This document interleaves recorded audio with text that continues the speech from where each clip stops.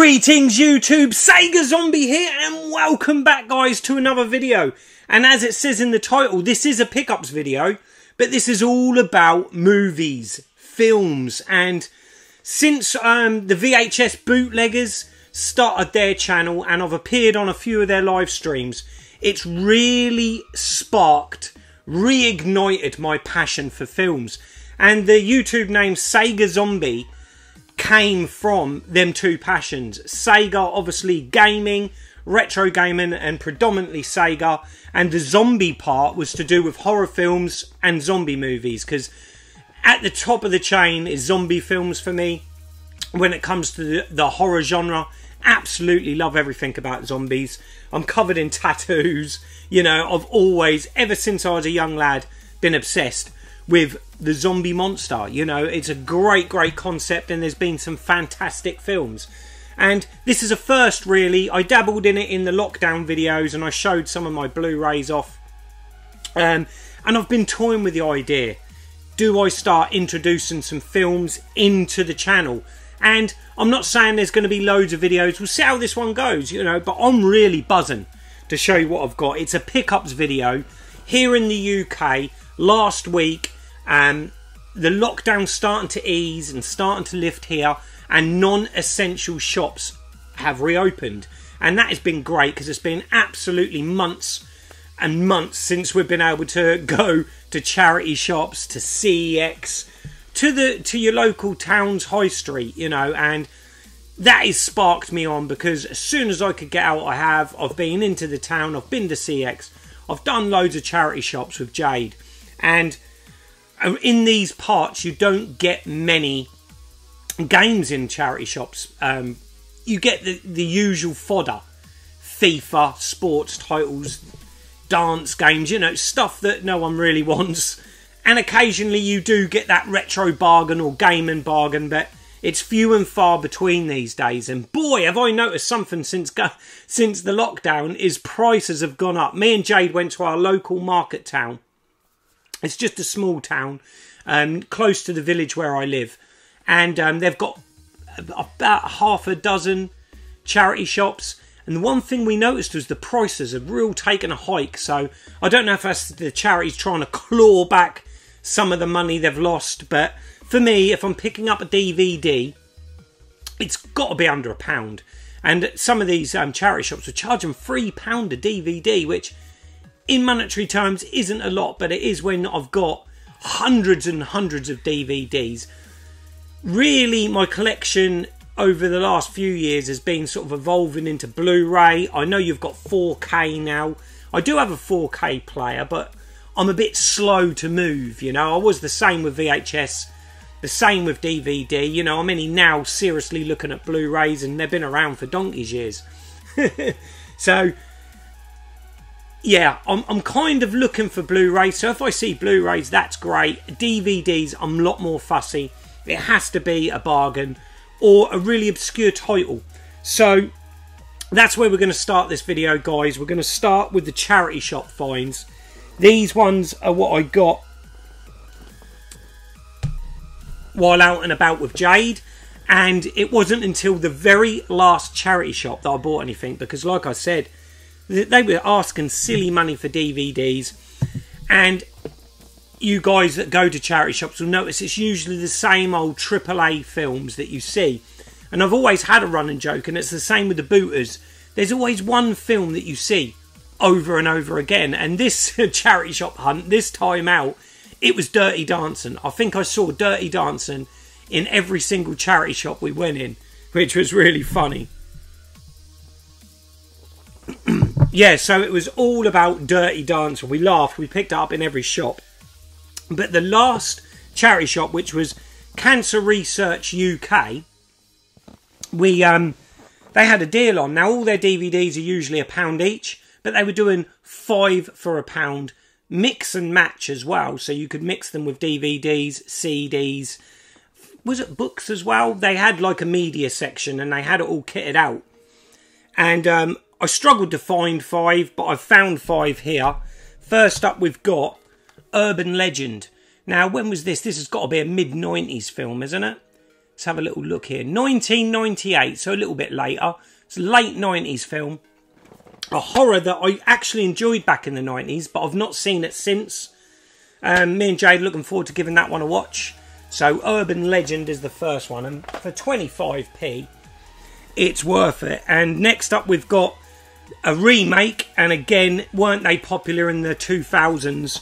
And that is the remake of The Hills Have Eyes, the extended cut. Now, I might already have this one, um, but I thought for 25p, I will take the gamble. Now, this is done by Alexandre Aja. Um, he done some fantastic films in the in the early of his career and then he moved on to Hollywood, and this was his first break into Hollywood. And I, I adore the original Wes Craven, The Hills Have Eyes, and this didn't disappoint me. Um, I'm trying to think what films it was that Alexandre done. It might have been, was it High Tension? He might have done High Tension, um, and The Division was it maybe? He done some really striking, gory, suspenseful films violent as well. And I thought he was a perfect fit for the remake of this, and so it panned out. This is a fantastic film if you've not seen it. And yeah, it's a good modern take on a great Wes Craven film. So yeah, The Hills Have Eyes for 25p, guys. And then we're going back complete nostalgia with the next one, and that is Convoy. Wow, Kris Kristofferson. And um, yeah, the rubber duck. Rubber duck, breaker one nine, breaker one nine. This is the rubber duck. It brings back so many memories. I must have been around Eden's age, around about eight when I see this film.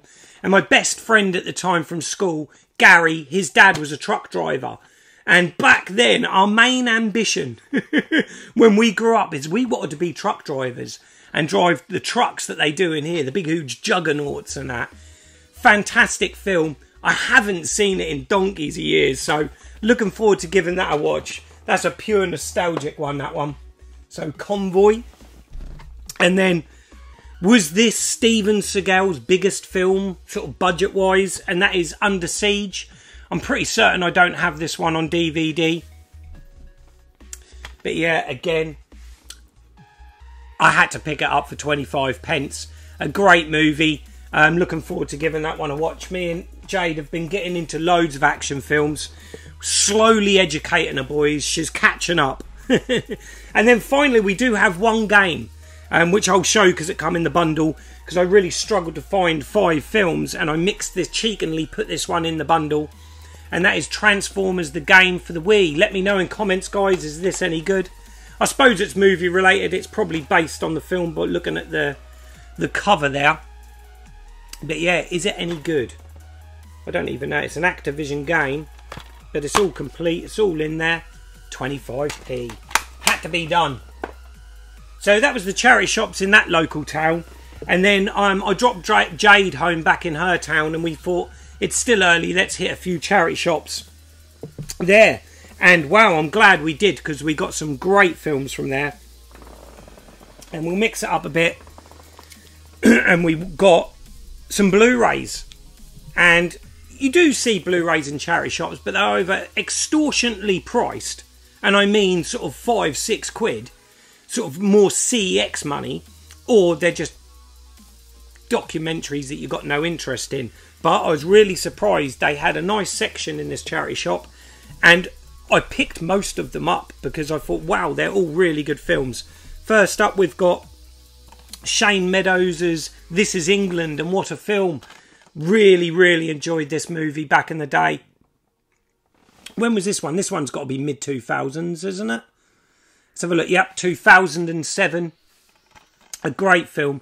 I've not. I love every, everything that's set in the 80s like that, and I'm really looking forward to watching it again because it's been long enough that are kind of a bit hazy. I remember certain bits, but it'll be good to sort of like get back into the story of that. And I'm really looking forward to seeing This Is England, and that was a pound, guys. And then next up, we've got a Luc Besson film um, from the producers of Transporter, which was a film I really enjoyed with um, Jason Statham back in the 90s, and that is District 13. Really cool film. Loads of brilliant set pieces and choreography, loads of awesome fighting. Brilliant film. No wires, no special effects, no limits, just an explosive mix of jaw dropping, free running, and spectacular action. That sums up pretty well, guys, if you've not seen it. But yeah, welcome to the district, welcome to hell. A pound. Then we move on to a more modern film. Um, I think this one's only a couple of years old, and I've never seen it before. And as you can see, we're getting a mixture of genres here, and that is Rush. And I thought, for a pound, when was this released? Uh, 2014. So, yeah, it's a few years old now, but it's a lot more newer than these other ones. And I've never seen it. Um, I know nothing about it, but I thought, you know what? It's sort of more of a drama, sort of like a biography, as you will, on um, two rival drivers from the 70s, I believe. Let's have a little look. Academy Award winner Ron Howard a Beautiful Mind once again teams up with Academy Award nominated writer Peter Morgan, Frost and Nixon on Rush, a fast paced and spectacular recreation of the merciless and legendary 1970s Formula One rivalry between English playboy James Hunt, played by Chris Hemsworth, and his Australian opponent Niki Lauda, Daniel Bruhl from Inglourious Basterds. So, mm, could be good. Let me know in comments, guys is it worth my time putting a, a couple hours in that, or am I going to lose them forever? so yeah, Rush, and then a film I haven't seen since the cinema. I see it at the cinema. I can remember thinking it was a bit of a meh film. You know, films are always a lot more enjoyable in the cinema, aren't they? Um, and I kind of thought, mm, is that one I want to own? So I never bothered getting it. And that is 30 Days of Night. Now, I actually sat and watched this one the other night, and I enjoyed it. It's a good film. It's definitely above an average film. Gory, very gory, lots of blood, which is what we like. And Melissa George, she's an underrated actress. She's appeared in quite a lot of B movies. This is a Ghost House production. Um, when was this one released? This was, it's got to be mid 2000s as well. Yep, 2007 as well.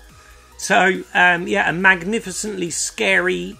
The vampire film finally draws blood again. Terrifying. A thrilling, tense, white knuckle horror trip. It is a good film. I like the setting. I like how it's set in Alaska. And obviously the take on 30 Days of Night. So they've got to survive 30 days of darkness and yeah, it's a good film. I did enjoy it. I think I, I liked it more than I did back then. So yeah, Josh Hartnett as well. A good film. And then they had the sequel there, which I didn't even know there was one, and that's 30 Days of Night, Dark Days. I know absolutely nothing on this one, guys, so let me know is this one worth a watch or not? And then finally to a director that in the 90s was a massive English director, really. And that's Danny Boyle. He done Trainspotting and the brilliant 28 Days Later. I absolutely adore that movie. And then after that, the success of that, he done Sunshine. Now I can remember rushing out to the cinema and going and seeing this. I don't know if it was because at the time I was kind of fed up with sci-fi. I kind of left sci-fi behind back then it's a sort of like genre that I go in and out of. Um, I've got to be in the right kind of frame and mood for science fiction. And I think at the time I was a little bit meh. I was expecting more. Um, but I watched this. I watched this last night actually, and I thoroughly enjoyed it. It's actually a really good film. Yeah, it's suspenseful. Um, it kind of has a similar feel, I suppose, to Alien. Um, but does enough happen? Hmm. I think there could have been more with this film. But it's a good film. It's a good film. I know it's highly rated, um, critically, as well as um, viewers. You know, us, the public, we enjoyed it back then. But I remember being slightly disappointed. But I liked watching it the second time through. All these years later, enjoyed it. So they're the Blu-rays I picked up, guys. Let me know in comments what you think of any of these films. Um, did you used to wish you was a truck driver? Did you wish you was the rubber duck? and then we move on to another charity shop and this one was very peculiar. Most charity shops will have their DVDs, CDs, they're all usually set one price unless they're box sets and things like that. But these, this charity shop had everything individually priced and they're really random prices. You'll see what I mean, guys. First up, we've got this one, and that is Azumi, the double bill. And this one captured me straight away because I thought, oh, that's interesting. 50 pence. And um, I looked at the back and I see that I recognise the director.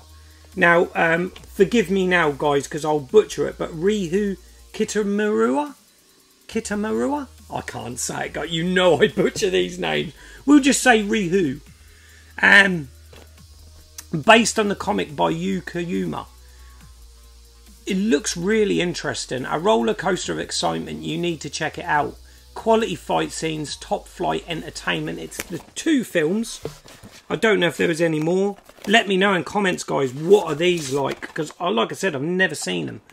There's the original one, Azumi. And then it's sequel. 50 pence. I'm going to get it. I really enjoyed Versus. The, the director done Versus, and that was a great sort of zombie samurai sort of film. Really cool. And I thought, you know what, I'm going to give this a try. And now we're going back, guys, to a really old classic. And this movie, I can remember watching it with my mum and her friend. And I felt kind of uncomfortable because I think I was too young to really know what was going on on screen. But it was the first time I'd ever really seen my mum and her friend cry to a movie. And I can remember being like, Mum, what's wrong? What's wrong? And it was because of this film, and that is Soldier Blue. And this really is a tearjerker. This really does pull on your heartstrings a lot. It's, it doesn't leave anything to the imagination. It's a very graphic film for the time. This was released in 1970. Um, Directed by Ralph Nielsen, it's a it's a western, but it's like no other. It's really graphic. It shows you the brutality of of the West and what and what they do to these Indians. It it it, really is a horrifying movie. And I used to have the pre-certification big box um, of this, and it was uncut It'd be interesting to know if this one's uncut. It's running at 110 minutes. I didn't check to see what the full running time is, but this was released in 2008, so I'm hoping that this is the full uncut version. It's on Studio Canal Optimum Classic release label. Jump cut, guys. That was the door. That was the postman. um, but we'll worry about that later. What was we talking about? Yes, Soldier Blue. An absolute classic movie, guys. I highly recommend it if you want an emotional roller coaster. And you know, it's got Donald Pleasence in it. I absolutely adored Donald Pleasence, an absolutely fantastic actor. And it was 29p. I don't know if you can see it on there. I'm going to pay 29p for that film all day long, guys. All day long. And then a film that I did have on DVD, it's not there now you know what you do, don't you? You lend them out to an aunt, an uncle, a family member, a mate, and you just don't get them back. And this is one of those, and that's an American Werewolf in London. And this is the 21st anniversary edition. Again, 50 pence. I'm not going to leave it sitting there for 50p. It's a film that I really want to get on Blu-ray. I absolutely love American Werewolf in London. A fantastic movie. A great film. The 80s was brilliant for mixing horror and comedy. That dark horror comedy was just really, really good. It's sort of like a genre that kind of fell off in the 90s and 2000s. It's not really done as well. I suppose you could kind of put an odd few films in there like Shaun of the Dead and a few more sort of low budget films, but in the 80s they they they done comedy comedy and horror so well together. You know, this is dark, brutal. it's really gruesome, and I think the effects hold up well.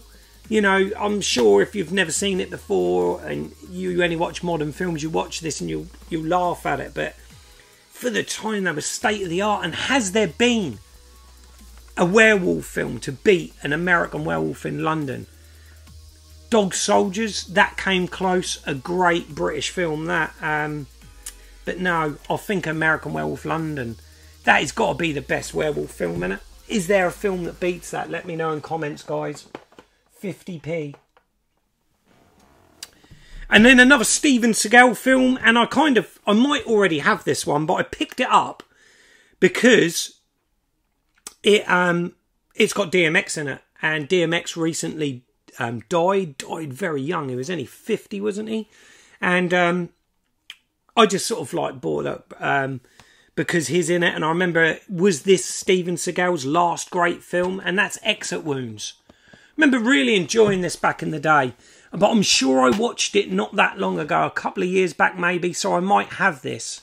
But I'll always pick up an action film. And yeah, this one was 50 pence as well. When was this one? Crikey's 2001. I didn't realise it was quite that old. 20 years ago. That's crazy. But yeah, Exit Wounds. Let me know. Steven Seagal churned out so many films after this that were just god awful. I'm sure this was his last good film. In my opinion, anyway. Anyway, guys, for what it's worth. Another sip of this, my throat's going again. Oh. and then this one I've got absolutely no interest in. Maybe one of you guys might have interest in this one. It's um, I've never been into the games. I certainly ain't into the cartoon, and that is Pokemon. And this is Pokemon Hoopa and the Clash of Ages. It's on the manga label. It's all in there. It's in really clean condition, and it was 30 pence. So, guys, anyone into Pokemon, I picked it up for someone else you know, if anyone wants it, let me know. I'll send it off to you. But there's Pokemon. So there you go, guys. There's the charity shops done. And wow, what a mixture of genres. You've got westerns, horror, action, kung fu, drama, science fiction, martial arts. There's everything there. And, you know, it's fantastic. Just so cheap to pick these films up. And that moves us on nicely to the high streets. And I did check out my local CEX, full of stuff, but actually nothing I'm looking for at the moment in there. I tend to really, I'll look at the Blu-rays and things like that, um, but they didn't really have anything that I was after. And um, I had a browse of the retro, but the retro isn't that big in my local town, so I had a look at that. Um, but then I moved on to HMV, and I was itching to get in there. I love to flick through vinyl and have a little look at the the uh, Blu-rays because I love how HMV in my town anyway they have it all split split up. You have the world cinema section, you have a horror section, you have anime section. You know, and I like that. Um, it's not just A to Z. And um, I like to have a good old browse of the horror. And now they've also introduced a, like a limited edition and collector's edition sort of um, shelving section, which is really cool.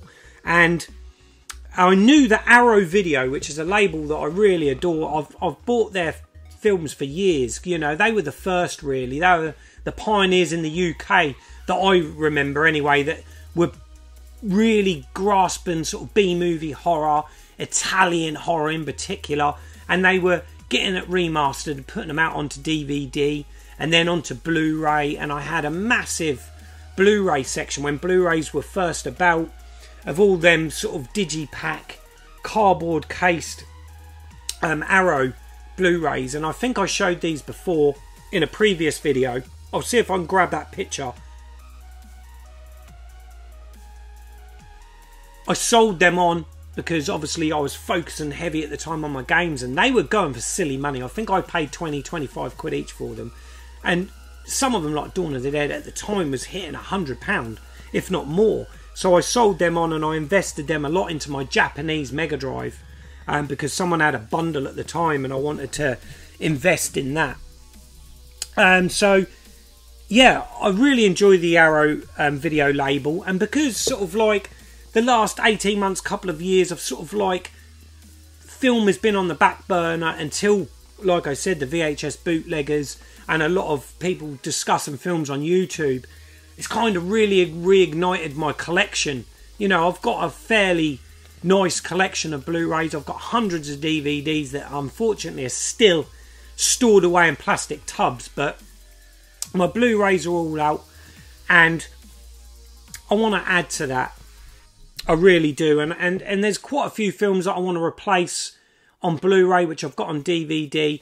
And like I was saying, the original Arrow Blu-rays that I had, I sold all of those, and I still haven't managed to buy them back on the standard versions. And because I've been off the boil with films for a bit, I've missed some fantastic limited editions, but you know, that's how it is.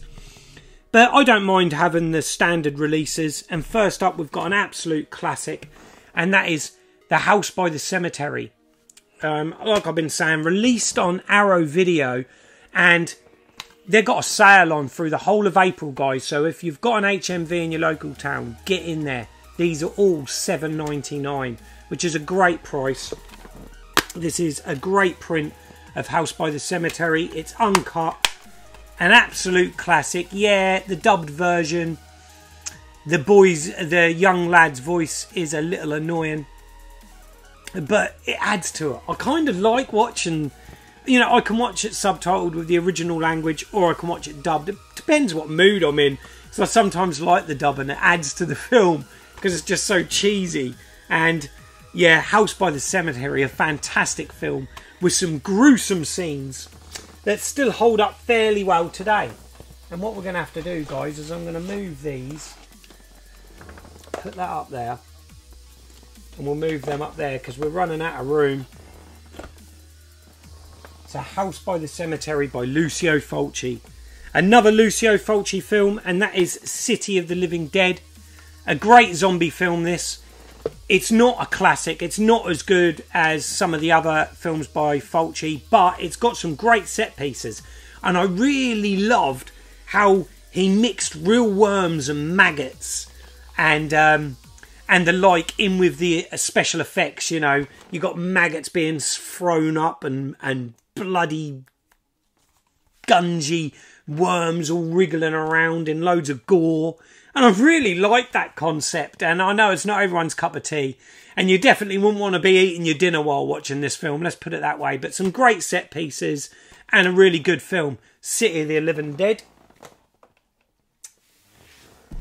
And then we move on to a slasher, which doesn't really get as much hype as, say, like Friday the 13th and Halloween. But I think this is a really good film. And that is The Burning. It was um, heavily cut here in the UK for many, many years. And it's only been, I can remember when this was released on DVD, because I think it was originally a Warner Brothers film, I believe. And, you know, it's got some massive people. This was a big budget film for the time. And um, I know that I had to get the Region 1 DVD because it was cut in this country. Um, but I think over time it finally got released uncut and it might have been for the first time on Arrow Video on Blu-ray um, that it was uncut here in the UK. And all I'll say on that is the raft scene. Wow, what a scene that is! It's a slow burn, a suspenseful. Sp- spit your words out, Scott. It's a suspenseful film which really does build up the tension. And wow, when the gore hits, it definitely hits. A great movie, this. I really do enjoy it. Special effects done by Tom Savini who was an absolute master in that field, and the effects really do hold up well today. I say that with all of Tom Savini's special effects. A great, great film. The Burning. And then finally, it has to happen, guys. You know how much I love Robocop. I own, I showed off the big box VHS video in a previous pickups. I've also shown off the limited edition Arrow collector's set.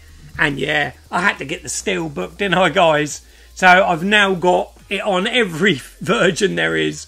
But yeah, seven ninety nine, guys. I'll probably keep it in the cellophane for now, even though it's the wrap is a little bit tatty. But This was like originally 30 quid, guys. And you know, you've got to give a big out big shout out to the high street because you won't be able to get that online, I wouldn't have thought, for 7.99 unless maybe you go to Arrow Direct, but I know that on Amazon and um, eBay, you know, this was 25 quid. So 7.99, that's a bargain for a steel book. And an absolutely amazing film. One of my favourites, as you all know, guys. So the final Blu-ray, and this was one that I missed out on. It, I think it released in sort of like February time, and it's one of my favourite films. And if you haven't watched it, guys, go back to the VHS bootleggers where we done a zombie stream, just talked for hours about zombie movies, and I said on that video that this was one of my favourite films, one of my favourite zombie films. You know, and it really is. I really enjoyed this film when I was a kid. I still really enjoy it today. It's been a few years since I've seen it. Again, I watched it um, a couple of days ago, and that is Lucio Fulci's The Beyond. An absolutely fantastic release, this by Shameless. I used to have all the Shameless video DVDs, the yellow spines, and they were all numbered. I used to love that on the shelf, um, but unfortunately I sold it. A big regret that I really wished I kept hold of that. Um, but I sold that again when I was looking to sort of like bring down the film collection so I could expand the gaming collection. And at the time, we was living in a small house, so it was difficult to have both a film collection and the games running at the same time. Um, but this is a fantastic release. I love this box. It's like transparent, so the silver side of the disc shines through. I don't know if that's going to capture well on camera, guys. But yeah, it's, it's all transparent. A lovely case. I really like that box art. The spider through the eye on the back there. And there's four different versions, which I really like.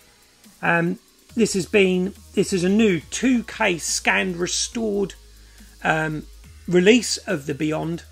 And the prologue the introduction has four different versions. You've got the standard on monochrome, original colour, you've got black and white, and you've got the new yellow tone sepia on colour.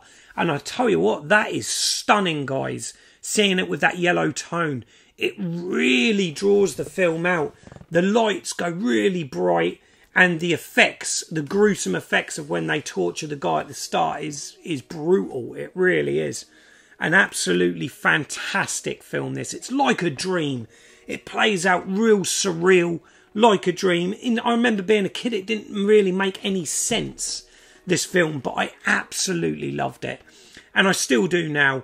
It is just like a nightmare, isn't it? And a brilliant take on the zombie genre. An absolute masterpiece of Italian horror. That the Beyond and that is a limited edition actually guys. It's numbered um, 1603 it's gonna be it's a limited run and it is still available direct through the shameless website. And it's any 14.99 um, and I've, I've, it might have even been free postage. I can't remember guys. But yeah 15 quid. And again on ebay amazon it was 20 20 plus so go direct guys if you want it a great film. And then we're going to end it on a VHS. Oh, yes. Another rabbit hole is appearing, and Sega Zombie is probably going to fall straight into it. and I blame you, Pedro. I blame you, you VHS bootleggers. but it's a VHS, and it is Return of the Living Dead Part 3. I got this for a great price because the box has seen better days but the tape looks absolutely fine. There's no moulding to the tape. So I just need to see if I can get a replacement case for this if I can. But yeah I'm going to be very select on the VHS as I get and predominantly I want the films that I used to watch over and over again back in the day. And this trilogy of films I know they released some later on which were awful but the first three the original trilogy are great movies that I watched over and over again. And I really enjoyed this one too. So, Return of the Living Dead 3, full uncut version, Which I can remember back then they started putting that on films, even though the films were never cut. As far as I know, they just used to put full uncut version to attract you when you rented it out. Taylor's Video Club, 86 Liverpool Road, open seven days a week till 9 pm with the telephone number. Shall I ring it? TV, video, satellite, sales and services, tailors, Radio and TV. Wow. But yeah, I had to end it on a VHS, guys. And there we go.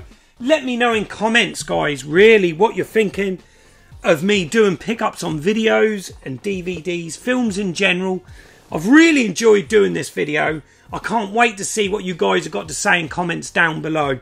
There is a a games retro games pickup coming really really soon guys. Literally it will be out pretty shortly after this one.